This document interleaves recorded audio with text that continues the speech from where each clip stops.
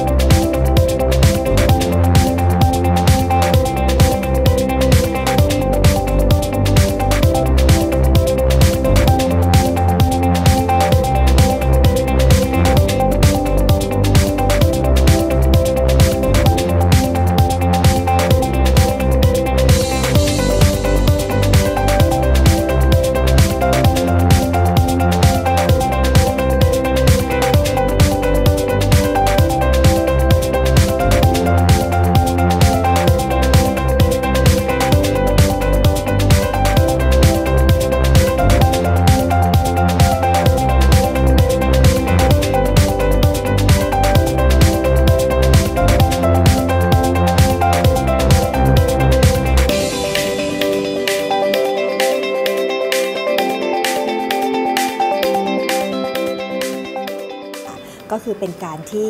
เรานำระดมเอ่อนำทุนนะคะมาช่วยเหลือผ่าตัดให้กับผู้ป่วยที่มีภาวะปากแหว่งเพดานโหวเพื่อที่ผู้ป่วยด้อยกาสเหล่านี้ค่ะ เขาจะได้มีรอยยิ้มกลับคืนมาเหมือนคนปกติทั่วไปค่ะ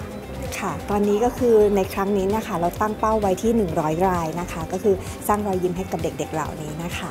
อันนี้คือถ้าเกิดในเรื่องของระยะเวลาค่ะ ก็อาอาจจะต้องขึ้นอยู่กับทางโรงพยาบาลด้วย แล้วก็ความสะดวกของทางผู้ป่วยด้วยอะค่ะ เพราะบางทีเข้าใจว่าบางทีผู้ป่วยจะมา ก็คืออาจจะมาในช่วงที่ปิดเทอมหรือเปล่า หรือว่าในช่วงที่คุณพ่อคุณแม่ไม่ได้ติดภารกิจอะไรนะคะ เราจะมีการสนับสนุนอ่าในเรื่องของการผ่าตัด แล้วก็เราจะมีค่าเดินทางให้กับผู้ป่วยด้วย เพราะว่าเราเข้าใจใน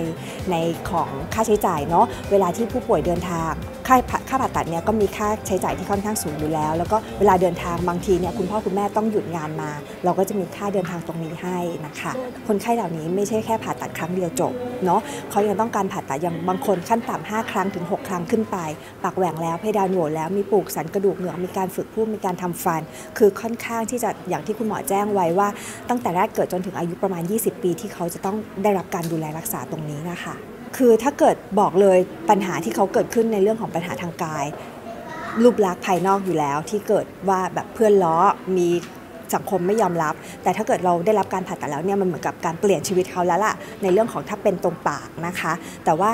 ปัญหาถัดมาก็คือในเรื่องของการพูด ถ้าเกิดเขาพูดไม่ชัดไปออกสังคมเพื่อนล้ออีกเหมือนกัน หรือว่าอย่างเมื่อกี้ที่มีเคสว่าออไปสมัครงานแล้วก็บริษัทไม่รับ เพราะว่าพูดไม่ชัดอย่างเงี้ยค่ะ ก็คืออันนี้มันเปลี่ยนชีวิตเขาได้ ก็คือมีการฝึกพูดให้เขาให้เขาพูดได้ชัด แล้วก็สามารถที่จะมีอนาคตที่ดี แล้วก็เป็นกำลังสำคัญของชาติของเราต่อไปค่ะ จริงๆ เรื่องปากแหว่งเพดานโบโรงพยาบาลสงขลานครินทร์เนี่ยก็ดำเนินการเรื่องนี้ผมว่าเป็น 10บสปีแล้วนะครับนะฮะก็ คนไข้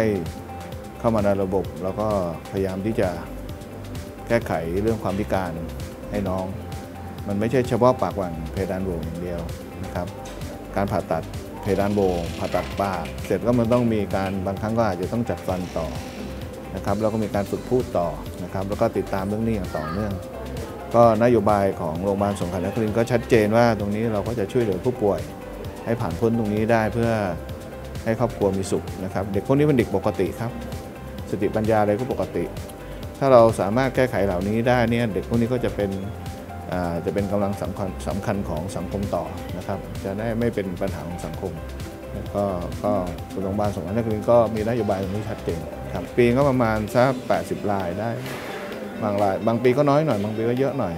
อย่างปีนี้ก็เราตั้งเอมไว้ทั้งร้อยรายนะครับ ที่จะที่จะช่วยเหลือผู้ป่วยนี้ครับ ตรงนี้เราเป็นศูนย์นะครับ เราเป็นศูนย์ตั้งศูนย์เป็นศูนย์บักบักแหว่งเพดานโหวและพิการแต่กำเนิดนะครับก็ระบบนี้ก็จะติดตามสม่ำเสมอครับจนกระทั่งรู้สึกว่าเฉพาะเรื่องปากแหว่งเพดานโหวเนี่ยเราติดตามเด็กมาจนถึง 20 ปีเลยครับ